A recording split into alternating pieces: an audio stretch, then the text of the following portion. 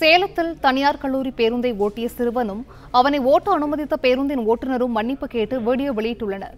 இது குறித்த கூடுதல் விவரங்களை வழங்க எமது செய்தியாளர் ரமேஷ் நம்மோடு இணைப்பில் இருக்கிறார். ரமேஷ் வணக்கம். இது குறித்த விவரங்கள் என்ன பதிவு செய்யலாம்? வணக்கம் சிந்துஜா.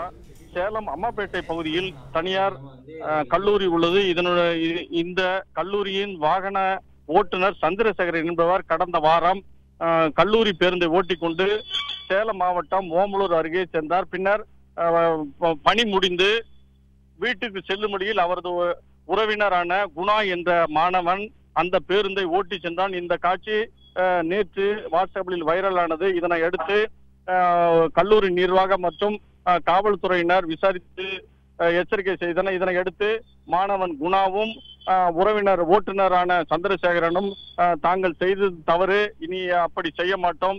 மன்னித்துக் கொள்ளுங்கள் என தெரிவித்து வாட்ஸ்அப்பில் பதிவிட்டிருக்கிறார்கள். இந்த சம்பவம் தற்போது வைரலாகி உள்ளது. சிந்துஜா. விவரங்களுக்கு நன்றி ரமேஷ். ஐநூறு மீட்டர் எங்கள் சித்தப்பா வண்டி வண்டி ஓட்ட சொல்லி சொல்லி கொடுத்தாரு. நான் வண்ணாங்கோட்டையிலேருந்து ஐநூறு மீட்டர் வண்டி ஓட்டினேன். நான் வண்டி ஓட்டுறப்ப எங்கள் சித்தப்பா வீடியோ பிடிச்சாரு. சித்தப்பா வந்து எங்கள் அப்பா செல்லுக்கு அனுப்பிச்சி விட்டாரு. நானும் எங்கள் அப்பாவுக்கு தெரியாமல் வந்து வீடியோ வந்து ஃபேஸ்புக்கில் போட்டேன். நான் வண்டி ஓட்டினதுக்கும் காலேஜுக்கு எந்த சம்மந்தமும் இல்லை. எங்கள் சித்தப்பா சொல்லி கொடுத்து நான் வண்டி ஓட்டினேன். நானே சித்தப்பா செஞ்ச தவறு இது. நான் இதுக்கு மேலே எந்த தப்பு செய்ய மாட்டேன்.